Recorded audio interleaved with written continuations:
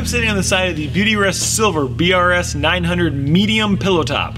And with a full foam encased edge support, this is a very sturdy edge, which you can see even with all of my weight being put down on the mattress, it's compressing very little, which is gonna be great when it comes time to sleep to the edge because you won't have to worry about falling off the side.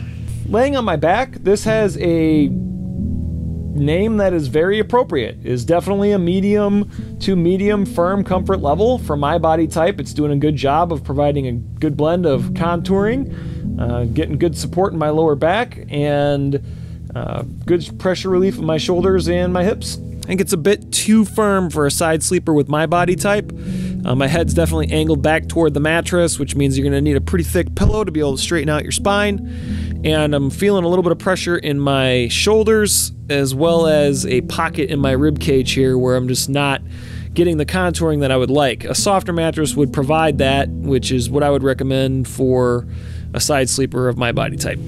Overall, in my opinion, if your body type is like mine and you enjoy a mattress that feels uh, right on the cusp of kind of firm to medium firm, then this is going to be a great choice for a back sleeper or a stomach sleeper. Side sleeper, again, you're going to want to go with something softer because you don't want to wake up during the night with pressure point related issues that are going to make you feel like you have to toss and turn, and you don't want to feel like your you know arms asleep or you're you're not getting enough support in your rib cage area.